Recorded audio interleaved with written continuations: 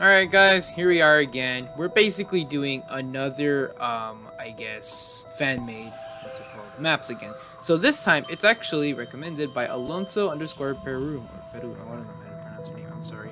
But either way, they have a load of maps. So that's all I know. We have a load of maps on them, and yeah, we're just gonna go ahead and um, see what we got, realistically. Hopefully they're actually pretty nice finally here. Um, apparently this is the first map. Oh, hi there.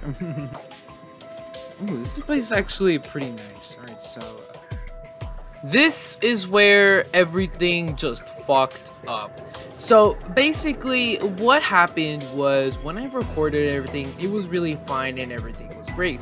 But somehow, the recording uh, process just just got glitched up. So, instead of it recording literally everything, it only recorded only a few, uh, I guess, clips of the entire 15 minute video. So unfortunately, I'm not going to be having like my live reaction like I did last time. So there's only going to be pictures in this, I guess, slideshow Google Slides, I guess.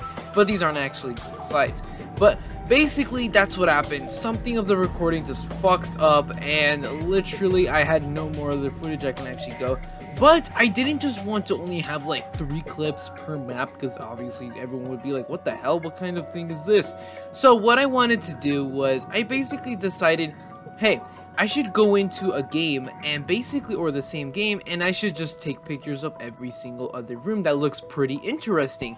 So that way it actually looks like there's actually footage and not just me just being like, oh, there's only three um uh, pictures and so enjoy the rest of the video. So what I did was I went back into the game. I basically took a picture of literally every single thing that I thought you guys would actually want to know and see. And I really hope that this actually makes up for the mistake and I take complete uh, responsibility of what happened of the mistake.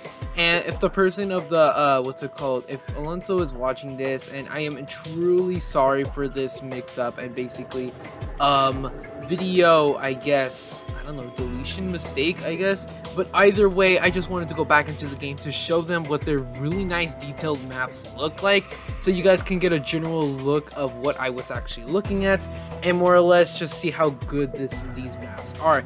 I'm sorry again, and I hope you guys enjoy these.